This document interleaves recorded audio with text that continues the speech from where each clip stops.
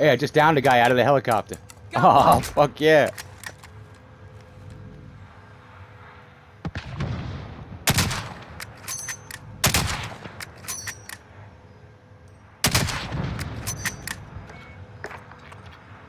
Wrong button. Here we go.